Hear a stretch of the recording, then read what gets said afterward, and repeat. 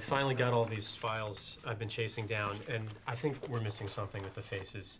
This is Gary Dewar, found by his son hanging from a chandelier, plastic bag over his head. Look at the tongue is pressed down towards the teeth. Four days later, Adrian Grunwald, mouth found open. And then we have Morton Half. Look at this. His mouth is almost identical to Dewar's. Like almonds. Yeah. Wh- What's the connective? You know, what are we missing? All the mouths are clearly manipulated. Is it like a a code or something? How's the curry? Oh, uh, it's great. Uh, thank you. It's delicious. Glad to see someone's eating my cooking.